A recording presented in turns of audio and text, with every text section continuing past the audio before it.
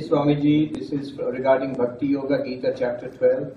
Lord Krishna responds to Arjuna that those who worship him are as dear as those who pursue the formless Brahman. In fact, they reach him quicker if sincere. Then why should we take the harder route through Jnana Yoga, the path of knowledge? So, yes, in the 12th chapter, Arjuna asks Sri Krishna, those who seek the formless Brahman and those who worship you in your personal form, which of them is a better yogi? Which of, which of them is superior? And Sri Krishna quite clearly says that those who follow the path of bhakti, devotion to devotion to God, a personal God, their path is easier. Why is it better? It's easier. Why is it easier? He says the path of the formless is difficult for those who are embodied. The exact words are Avyaktam hi gatir dukkha dehavadhiravapyate. The unmanifest, the formless existence, consciousness, bliss. It's difficult to realize for those who it says dehavat, the ones who have bodies are embodied. Now everybody is embodied. Krishna is embodied. What does it mean? For those whose body consciousness is very strong, who cannot seem to see themselves as apart from the body, who are very body oriented, for them, a devotional aspect, you know, God as a bigger body, God as a personal, uh, as an object, instead of the consciousness which is the pure subject, can I put this consciousness as an object?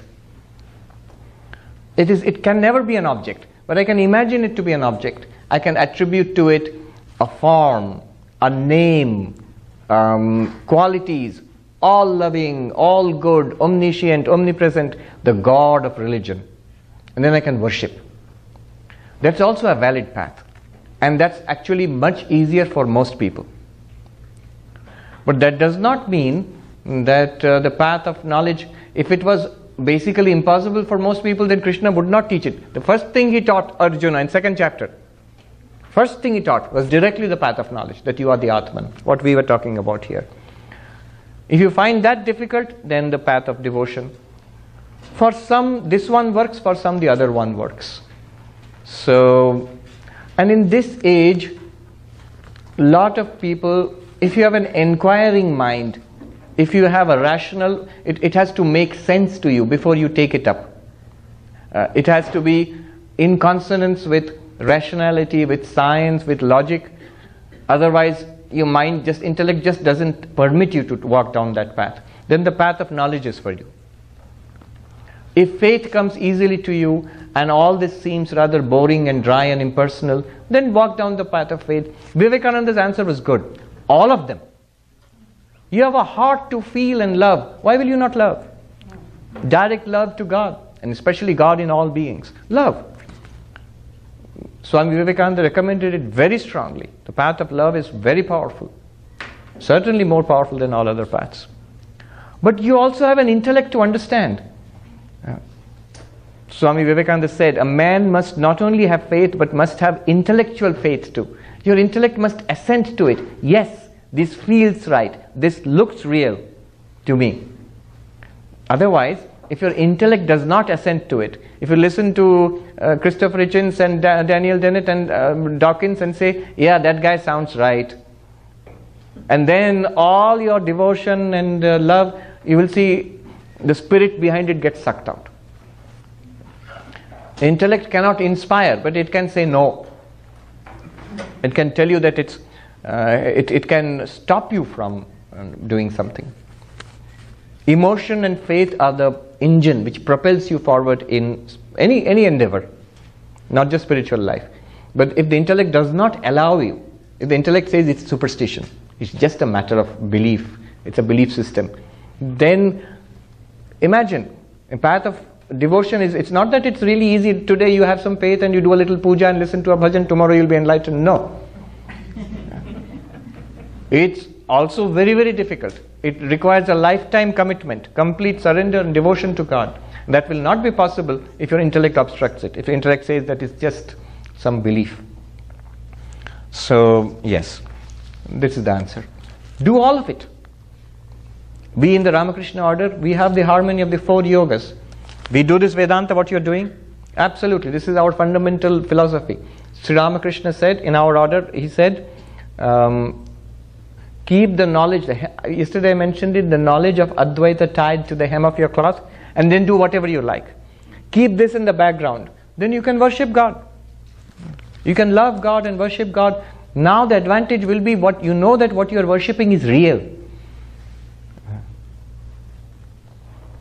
You can meditate on God, you can serve God through good works. The Holy Mother, Ma Sharada, to a response to a question, she said and sent a reply. Said, I can say with conviction that you are Tumra Advaitavadi, that you are non dualists. And yet you practice service and devotion and meditation, all of that. You saw the structure of sadhana, jnana yoga, upasana, karma yoga. So that is a structure accepted by classical uh, Advaita Vedanta. If you go to the Shankaracharyas in Sringeri, they will tell you that. It does not exclude bhakti. In fact, if you go to Sringeri or some other uh, Shankara Mata, you will see throughout the day only rituals are going on, from morning till evening. yeah. Is it against Advaita? Not at all. Not at all. All right.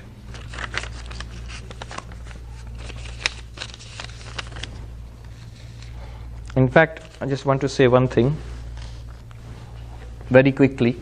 I've said it at other times, but this is it's good to know this. Our whole study here, the five verses, they can be boiled down to the four Mahavakyas, the great statements. So just take the typical Mahavakya, Tattvamasi, that thou art.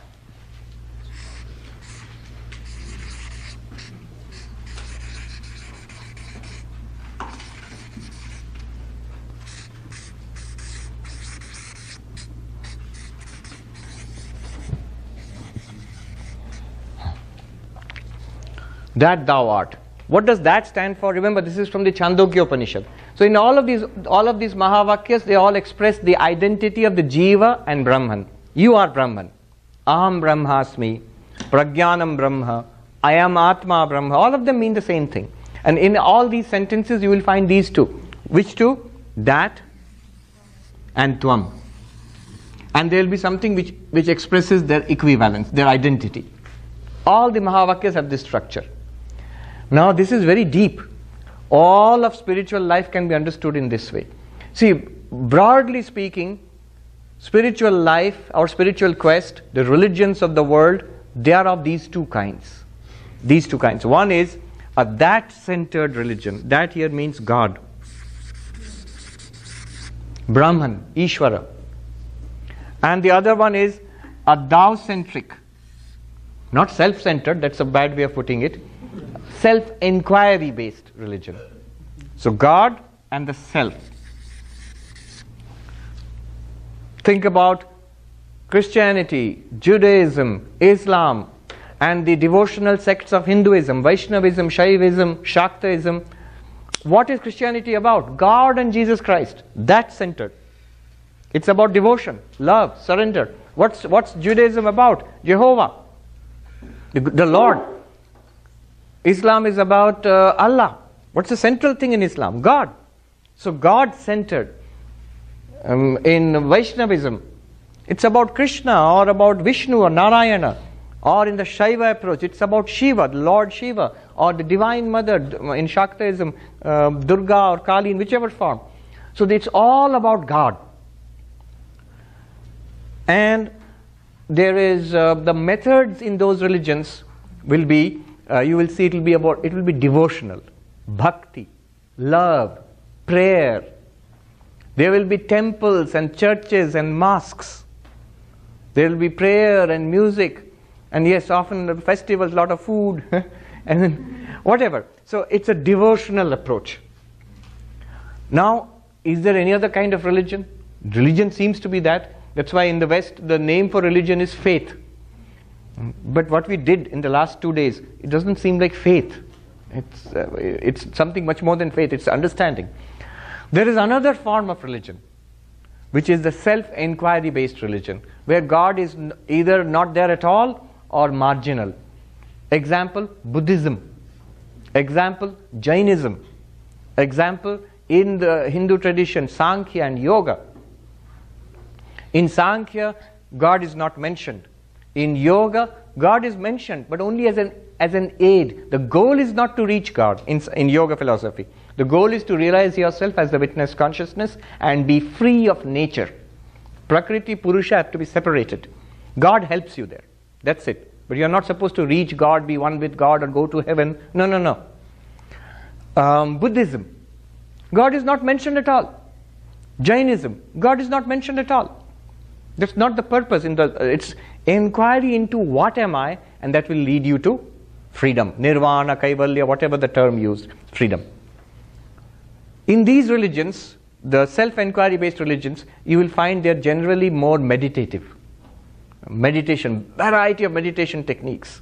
They're generally more intellectual, based on study. They're generally more monastic, generally, I'm saying. You see, Buddhism, Jainism, Sankhya Yoga, these are monastic or ascetic, mostly, more. The emphasis is not so much on big temples as on meditation halls and monasteries and all of that.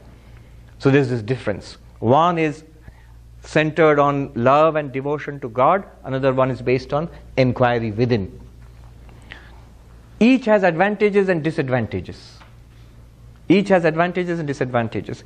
Even in our personal life, even in our personal spiritual quest, if you ask, you will fall into this category or that category, usually. Some people.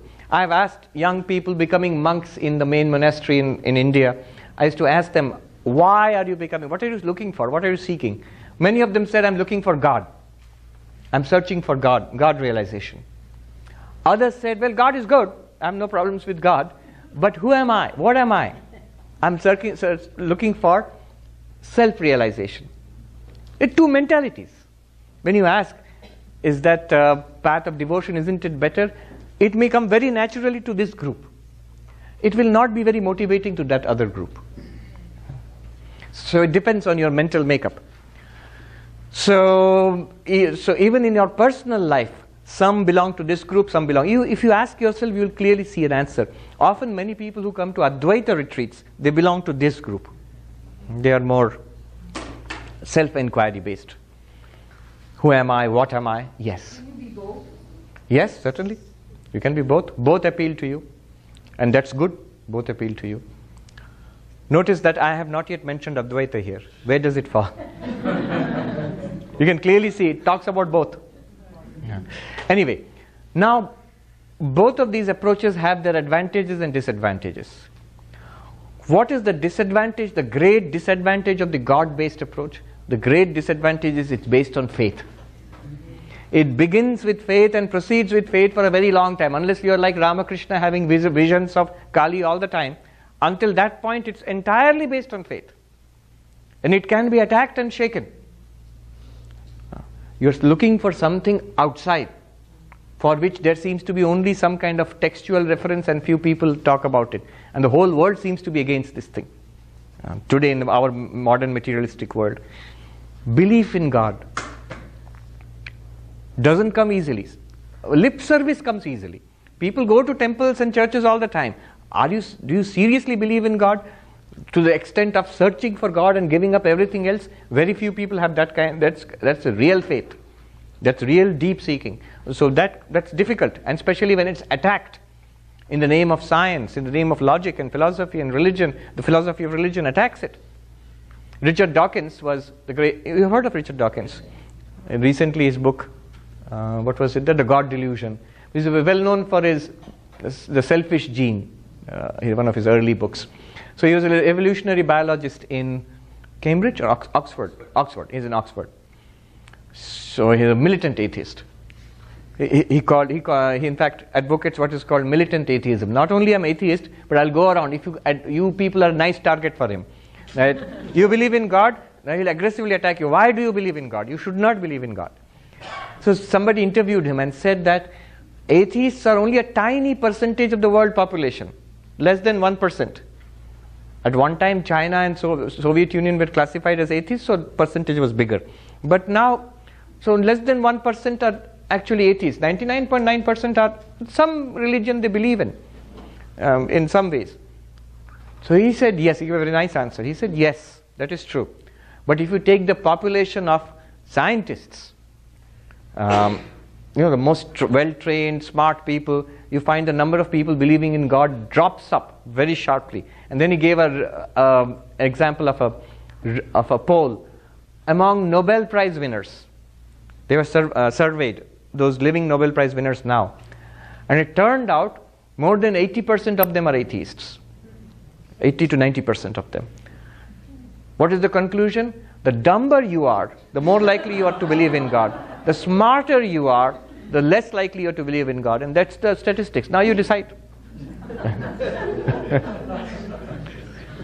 right? So this is the problem with the the advantage of the God God centered religion is God if God exists. God has no problems at all. God is uh, infinite and uh, omnipotent, omniscient. God is problem free, entirely problem free. God is, um, is one very happy person, personal God. If God exists, that's the only problem. All right, so advantage, disadvantage is clear. This approach, this self inquiry based approach, has its advantages and disadvantages. First of all, advantage. There is no problem of faith here. I exist. Nobody doubts that. Even the Buddhist, the Buddhist does not doubt that some self exists in some form, not in the form which the Hindus say, an eternal, unchanging self. They will say that, but there is a an experience of a self. Yes, it's composed of a stream of momentary consciousness instants, but still, that's the nature of the self. In, in some sense, I exist. Nobody ever doubts it. What am I is open to doubt. But I exist in some form, nobody doubts it. So it is not the question of faith never comes. You know, many people in the West who are disillusioned with the God-centered religions, they turn to Buddhism. In this country, for example, why? Why? Because Buddhism doesn't ask you to believe in something else. You are there. Do you seriously doubt it? No. Then investigate it. I'll give you the series of meditation techniques, mindfulness, and so on. We will see. So that is the advantage of the self-inquiry based religion. There is no question of doubt. There's no problem there. But what is the problem, that disadvantage of that? I have no doubt that I exist, but that existence is the problem. I am surrounded by so many problems. I have ill health, financial problems, relationship problems, parking problems, and so on. parking problem, not here. Arizona, a lot of parking space. In Manhattan. I have endless problems. My existence is sure, but it's a limited, miserable existence. And there's death in front of me. Old age and death is there. So it's a limited, miserable existence. God's existence is unlimited, glorious existence, but doubtful. Uncertain. This is the advantage and disadvantage of, of the two sides. All right. Why am I saying all of this? What Advaita does is, it says that thou art.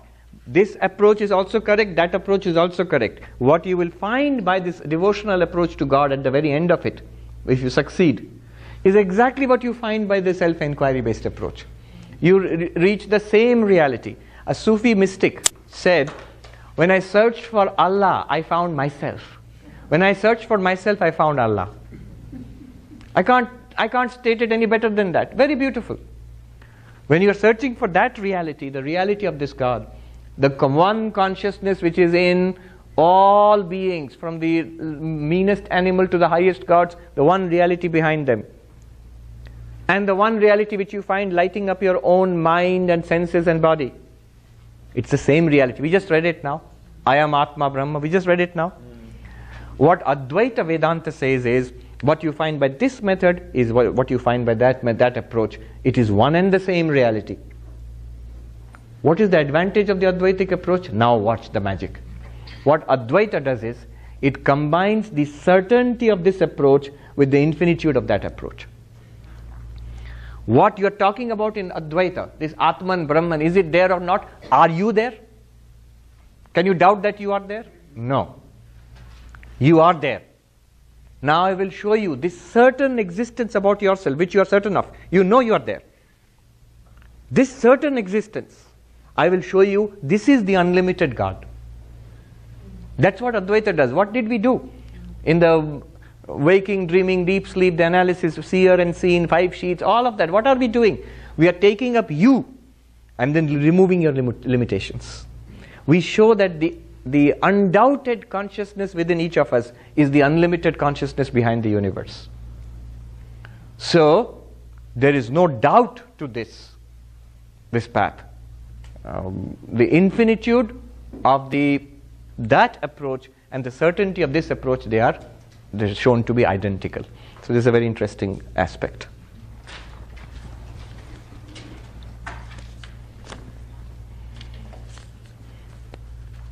An enlightened friend tells me to stop coming to seminars as I already know uh, the, the truth. Please respond. No, don't, don't stop coming to seminars. Why? Two things. Good for your enlightened friend, but as long as I do not feel that certainty, I must keep seeking. Not just seminars, but I must keep meditating and praying and inquiring, doing my daily spiritual practices, communing with like minded people like this, going to good places which inspires me, adds to me. As a seeker, this is very helpful. One. And then, suppose you are enlightened, you already, as your friend says, you already know the truth. Then what does this seminar do? It enables you to assimilate, to stay with it. This, this is called nididhyasana. In another word for it is jnana nishtha. Nishtha means um, dedication to staying with it, assimilating it, soaking it in. You already know. Suppose you already know all this. Very good. In Uttarakhand, I've seen sadhus who know this Vedanta teaching through and through, much better than maybe the young teacher who's sitting on the podium and teaching. But the old Swami will come and sit and open the book on the, the Upanishads and commentary, maybe for the nth time in his life. He never says, I've read the book, now return it to the library. No, no, no. I have seen among, one, one of our teachers used to tell us, you don't read, you all, young brahmacharis, the novices, you flip. what is reading? He said, you go and see there was a Swami Shikshanandaji. His name was one who takes delight in education. Shiksha. No, the shiksha, that, that uh, shiksha means it comes from the Vedic Taittiriya Upanishad shiksha. Anyway, you go and see him. He used to teach at one time, he teach the novices in the training center at one time. But when we saw him, he was, you know, you can say retired. He was old and ill. He was in his, he, there's a small room, he used to stay there. So whenever, whenever I have seen him, I used to go down and bow down to him, and he'd always be reading. But reading what? Reading the same Upanishads, which he had been reading for 60 years maybe. So they'll always be open before him, Upanishads with the commentary of Shankara, and he's reading. And if you go down and bow, bow to, down to him, he'll just look up and go back there again. what is he doing? It's not that he's gathering new information. It's not even that his, um, his understanding is becoming deeper. No, no, no. That's already done long time ago. It's just like a mirror showing him the face of God. It's just telling him the truth which he knows. And it's reflected back in the book. It's, it's uh, especially delightful. It's very easy. It's like a spiritual practice. It's like meditation. It is meditation. It's a form of nididhyasana, Vedantic meditation.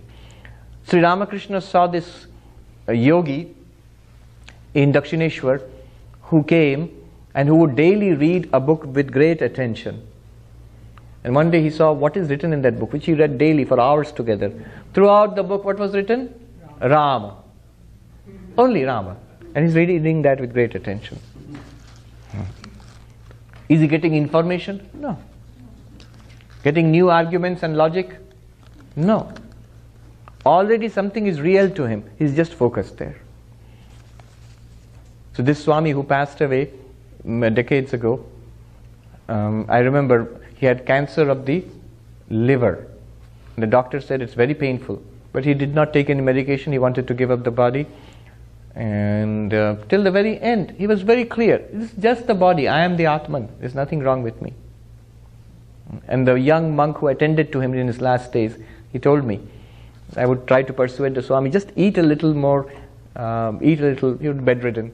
He said, Don't worry about me. I am perfectly all right. I am the Atman. He said, No, I don't want to hear that I am the Atman. Eat with this mouth. I want you to eat this, this food with this mouth.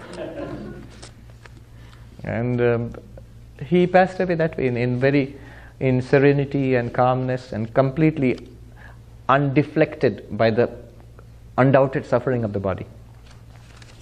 So do keep coming. Before enlightenment, after enlightenment. Why does, oh, this is related. Why does a person of realization need to assimilate it? How is it done? Need to assimilate it. All right, this is one thing I forgot to mention. The, the practice in Jnana Yoga, the path of knowledge, is Shravana Manana Nididhyasana. You hear these truths, these teachings, contemplate them, and meditate upon them. That should lead to enlightenment, realization that I am Brahman. Now, each of these stages has its purpose. When you hear these truths, study these truths, you have the book, you heard the teaching, so this is going on. This is the first stage. At the, this stage is over when you can say, I know the teachings now. Hmm. So I've paid attention, I've taken the notes, I have got it all clear, I know the teachings. Then your first stage is over. But then what is the problem? Two problems. Um, the problems are the impossibility problem and the contrary tendencies problem. In Sanskrit, uh, viparit, asambhavana, viparita bhavana. Asambhavana, impossibility problem. Viparita bhavana, contrary tendencies problem. What is asambhavana? I have heard the teachings, um, but I don't get it. I have many doubts. How am I Brahman? And what do you mean Brahman is existence, consciousness, place? So I have many doubts about it. So that stage, these, this impossibility problem, this can be solved by the second stage, mananam, thinking over it. You think over it, many texts are there which raise many questions and answer those questions. Ask the teacher what we are doing now. This is mananam. This session is mananam. This is the second stage in Jnana Yoga. This stage, when is this stage over? When you can say that not only do I know the teaching, but now it's clear. I get it. First stage, I know the teaching, I don't get it. Second stage, I know the teaching, I know what's there in Manisha Panchakam, and I get it. It's clear to me. I have no more doubts about it. I get it, I'm convinced. I understand what you said, and I'm convinced. Then what, what could be the problem? There is something called contrary tendencies. You will still feel it's, it's an intellectual conviction. It's not really working in my day to day life. I still have suffering. And what you promised, fulfillment, 10 to the power 10, 20 or something like that. None of that, not even one is coming to me. so all sorts of problems are there. Why? Because the body and mind has a kind of patterns of behavior and thinking which are ingrained, behaving and thinking as if I am the body mind. And that co- continues to lead to reactions and, and trouble. So that has to be erased and reprogrammed the new knowledge which you have got, you must dwell with that knowledge. You must stay with it. And that's where meditation helps. That is called Vedantic meditation. With eyes closed, with eyes open. It's a nirantaram vimrishatam, without any gaps, continuously dwelling on Nityam Brahman, eternal Brahman. I am Brahman. Not like a mantra, I am Brahman, I am Brahman, I am Brahman. No, in various ways, you see.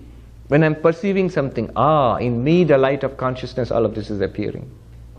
When there is unhappiness, misery, physical pain, or somebody says something, then you see that in me the consciousness, which is absolutely pure and unaffected, this thing has come. Hmm. It was there, not there earlier, it's there now, this unpleasantness, it will go away a little while later. Can I see that I'm free of the suffering now? Can you overcome? So if you can overcome suffering with this knowledge, that, that effort is called nididhyasana. And that helps to assimilate. I like that idea of marinating. And in cooking, once you've finished cooking, you don't take the pot off the stove immediately. You put the lid on it and let it simmer. Let it soak, marinate. The spices get absorbed. So what you have studied, what you have understood, marinate in it for a while. It could be days, weeks, months until it becomes absolutely clear. Then you should be able to claim at the end of the third stage I not only know the teaching, I'm not only convinced about it, it's real. It's a fact. You should be able to say. Like that,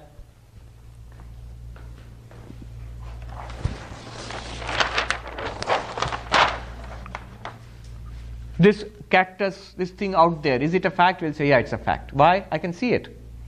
This body, which I'm seeing, is it a fact? Yeah, I see it, I feel it, it's a fact.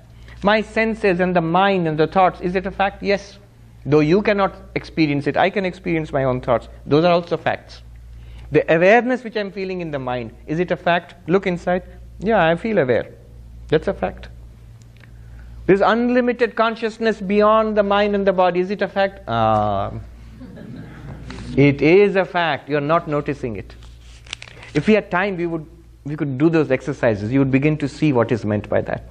So that you should be able to say it's a fact, it's real, and it's helping me to overcome suffering. It's giving me unending flow of satisfaction, peace, serenity. Then it is complete.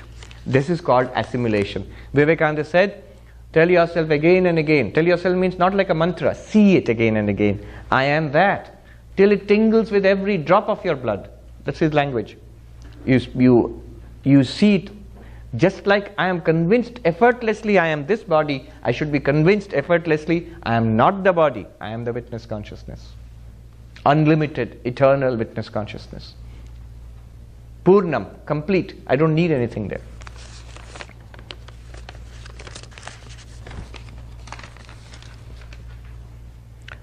About the first chart, where does suffering fit? How do we manage pain and suffering from our human experience in this world?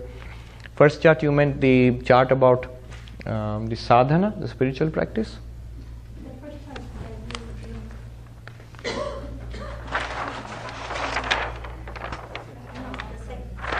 This one? Or the one after this? This one? Here, this one. He means this one. Uh, she means this one. Yeah. So all happiness and ple- uh, pleasure and pain are here in the mind. Pleasure, pain, they're all chitta vritti. Something that you experience in the mind, isn't it? When you're in deep sleep, do you exper- experience pleasure or pain? No. Any suffering is experienced in deep sleep? No. Only when the mind is active, whether in waking and dreaming, we can suffer. So these are experiences in the mind, they are movements in the mind, vrittis. How does spirituality help us to um, deal with it? When you realize you are not the mind, the movements in the mind, pleasurable and painful, you are equally the one which shines upon, illumines them, and gives them existence also. The word used here was spurti, the shining forth. You are the shining forth in this body and mind. The body can be ill, which leads to pain. The mind can be disappointed, frustrated. That's also pain. But if you are not the body and mind, just as the pain or the frustration of another person is seen at a distance, you will see this one also as a thing. Then you will not be affected. When you realize that you are this, what happens amazingly, in the mind also, the negative vrittis, they also automatically calm down. We suffer because we embrace the mind and body too tightly. So every modification there gives me suffering. When I see I am not it, it can do its thing. It can go old and grace, uh, age gracefully and suffer maybe, have diseases, recover health, and finally die. It is nothing to me. I am not it. Then suffering is tackled.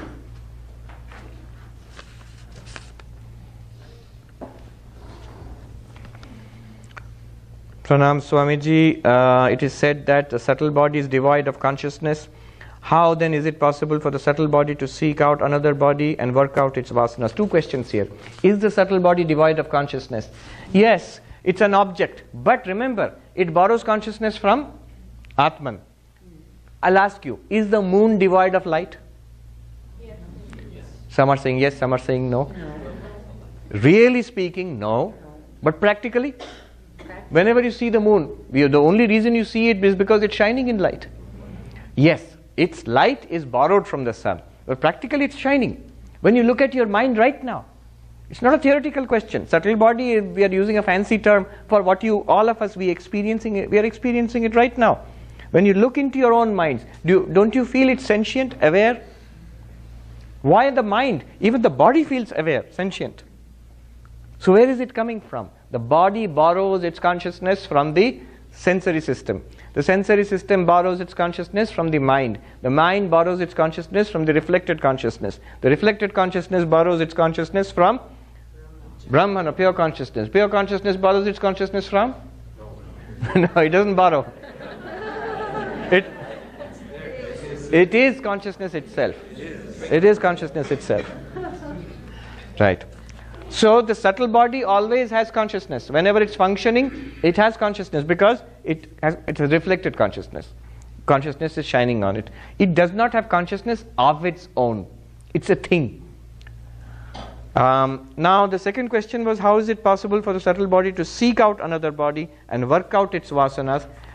Seek out and work out vasanas, it doesn't really do that. God provides for it. We have no such experience of, you know, before birth, was I given a form to fill out? I want these parents and I want I want to be born here and I want these toys and gadgets at this age and this age. No, no option was given to me. I had no idea and then I'm born here to these parents, and this is what's going to happen to me. All of it is produced by my past karma, and if you say, what guides the whole thing? So Vedanta will say, um, God, Ishvara. In all the Hindu systems, one role given to God is Karmadhyaksha, the ruler of karma, the dispenser of the results of karma. But Advaita Vedanta adds, footnote, all of this don't take it too seriously. it's a story. Then what's real? Wake up. Brahman is real. Everything on this side of Brahman is a projection. Chinmatra vistaritam. We read it? Ah. Brahmevaham. I am Brahman. Idam jagatcha sakalam chinmatra vistaritam. This world, what is this world? World, body, senses, mind, reflected consciousness, all of it is a projection, is a dream of consciousness. It's like a dream. None of it here has any reality apart from this one. Our thing is just like a dream. In a dream, everything seems real except the dreamer, who is nowhere in the scene. the dreamer is on the bed, nicely dreaming, nowhere in the dream. But only that one is real, and everything else in the dream is false. It's a projection of the dreamer. Only consciousness is real. Consciousness means in this sense. Uh, what we mean by consciousness in our day to day language and in consciousness studies is this one. Okay. What is, what is the relationship between this consciousness and the ego? Mm. Where is the ego? Here. It's a function of the mind. Good question. What is the relationship of this and this? Where does this one relate to this one? It relates to this one in this function, in the ego. Ego is a function of the mind. It's here. Again, look at your own experience. You just think I. Isn't it something in the mind? I just think I, yes, it's in the mind. What does it do? Vedanta defines, it's a definition for the ego. What is the ego? ahankara abhimanatmika antakarana vritti. The appropriating function of the mind is called ego, which says, I am this, this, this, happiness, or um, say, here, desire for ice cream. I will come and say, I want ice cream. Happiness, I am happy. So the I is, an, is the function of the mind which appropriates to itself or the functioning of the mind and the body. I am this. So, consciousness, what is the relationship of consciousness to the world? This one, body, mind, and the ego. What's the relationship of Brahman to this? That's the question. What relationship? Are they connected? Are they tied together? Is there physically some relationship which you can cut? What is the relationship? What is the relationship of the table and the wood? They're the same thing. The table is another name, form, and function of the wood. Um, you can, can you say that the table is a shining forth, an expression of the wood? Can we say that? This world we are ex- experiencing is an expression, a shining forth, a manifestation of Brahman. It is nothing other than Brahman. You still say, no, but what is the relationship between the shining forth and Brahman? The very nice answer was given by a monk in the Himalayas. Uh, this, this very question.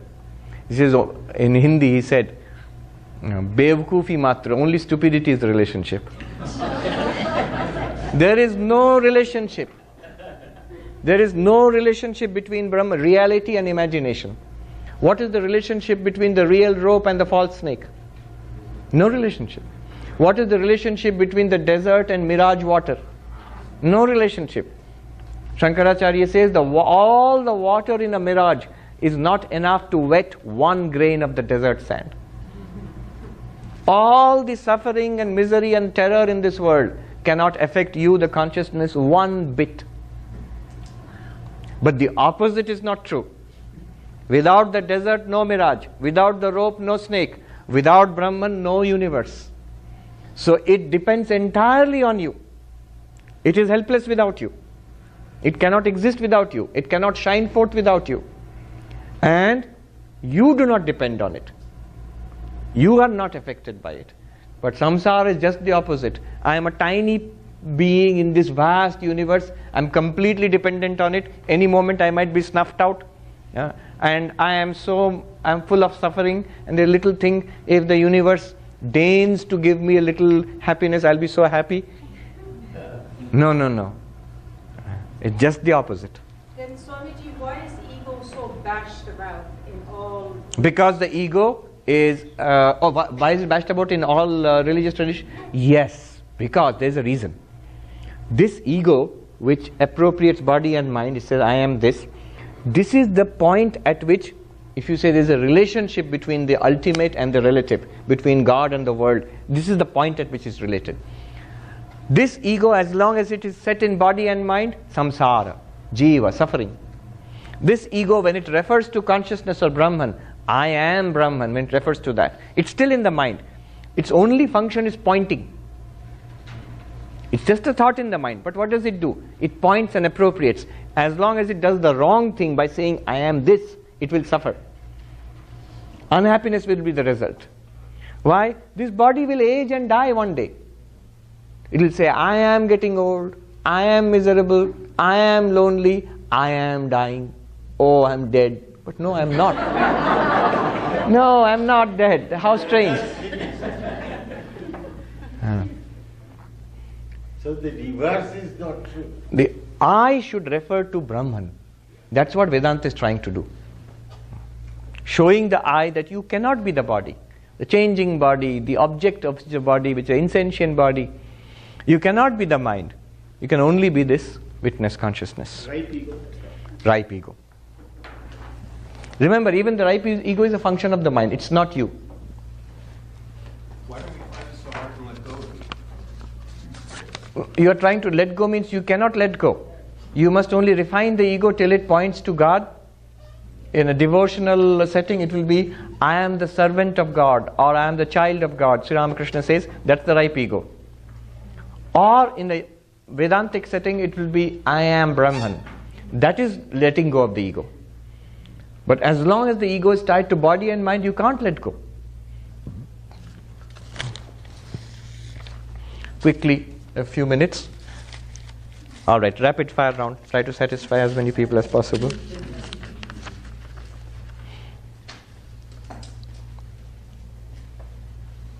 Pranam Swamiji, thank you for saying. Okay, uh, would you be kind enough to give a glimpse of how you spend your day when not among devotees or people around you? That's a rare day.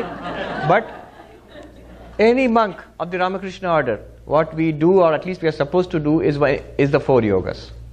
You're doing either karma yoga or jnana yoga or bhakti yoga or raja yoga. Either meditating or studying or serving. See, all our activities, whether I'm typing an email on the on the uh, computer or talking to devotees, it's all part of my karma yoga. I'm not supposed to do anything outside this circle. So this is what a monk does. And doesn't it get awfully boring? No, no, no. There's enough time for uh, fun, ice cream, you know. there's, no, there's no problem at all. Namaste Swamiji, can one experience the divine Brahman while still in the body? What is the purpose of having a body? Is it to is it to be born? Is it to burn out some uh, sanska- sanskaras? Can one experience the divine Brahman while still in the body? What else are you experiencing now? Look at all the answers are there. Remember the cloud hiding the sun? Why would you think that the body obscures uh, the divine Brahman consciousness? Because it's like the cloud hiding the sun. It's like asking, when there's a cloud, can you still see the sun? Of course, you are seeing this cloud by the light of that very sun. The very experience, I'm still in the body, how can I experience Brahman? This very experience of being in the body, this is Brahman, the Brahman shining forth. It's like asking, while it is still a table, can you experience the wood? Or do you have to smash it? Then only it will be wood. What do we say? Touch? Touch wood. We don't say touch table. touch wood. It is wood.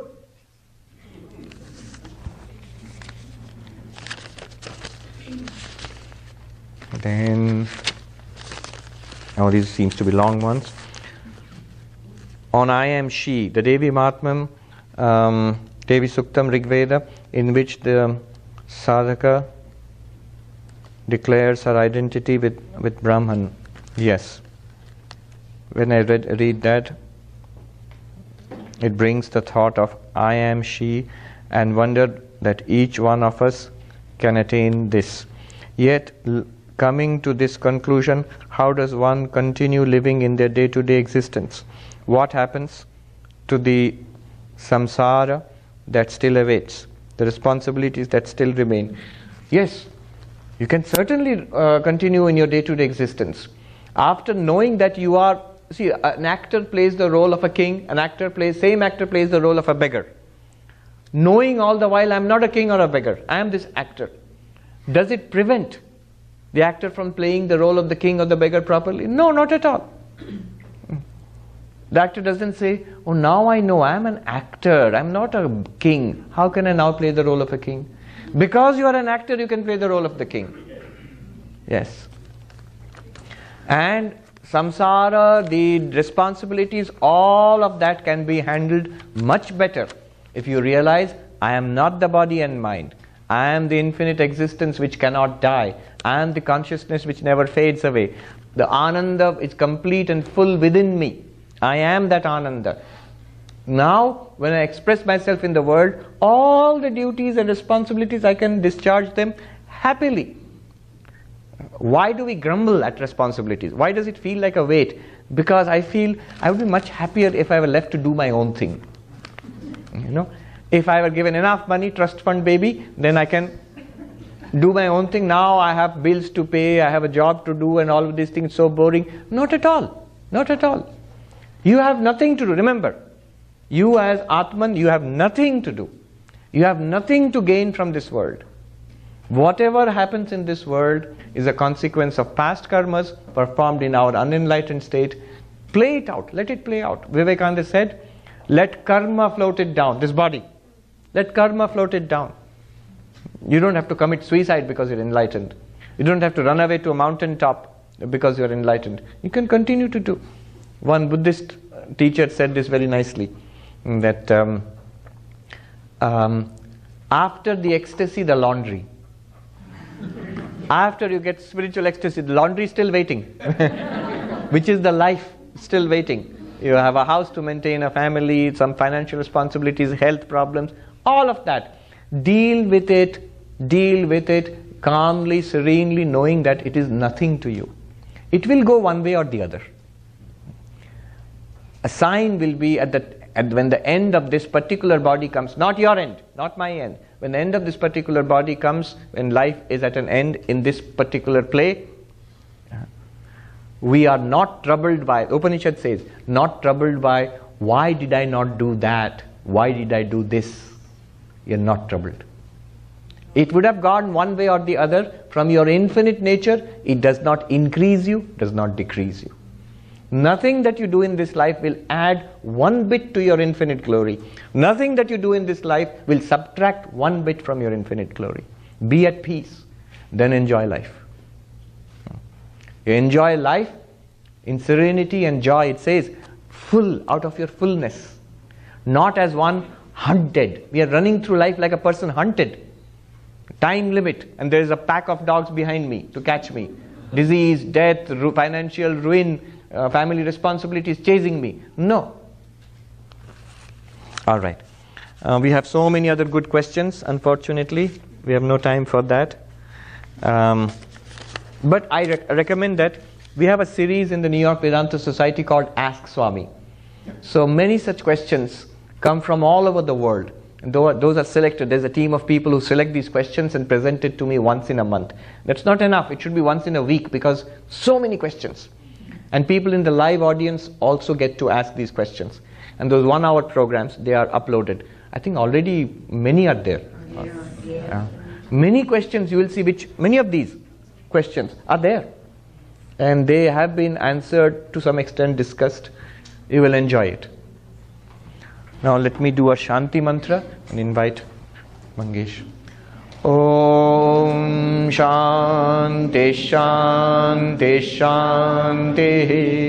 Hari Om Tat Sat Shri Ram Krishna Arpanamastu I pray to the Lord that may this study be enlightening, may it light up our lives, may we proceed towards that grand enlightenment, Brahma Jnana, in this very life itself, and make ourselves and everybody around us blessed. Om, peace, peace, peace.